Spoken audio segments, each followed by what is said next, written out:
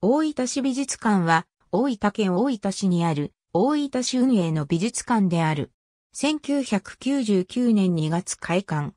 大分市市街地の南側にある上野の森の丘陵地に位置し、近隣の大分県立大分上野旧高等学校、洋士館高等学校等の学校とともに文教地区を形成している。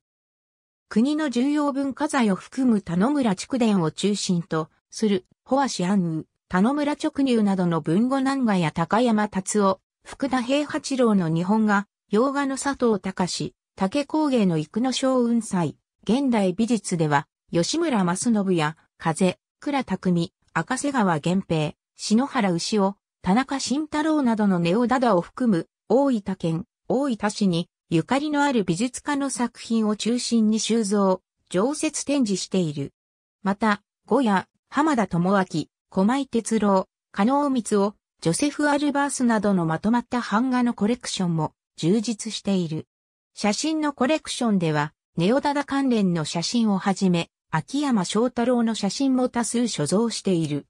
企画展示室では、年間を通じて国内外の様々なタイプの特別展を年間7回程度開催している。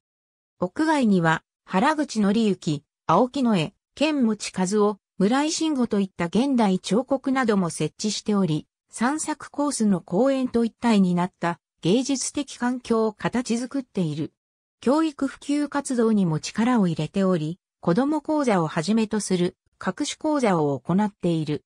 田野村蓄電関係資料の明細、田野村蓄電関係資料、田野村蓄電関係資料の画像大分県大分市大技上の865番地。ありがとうございます。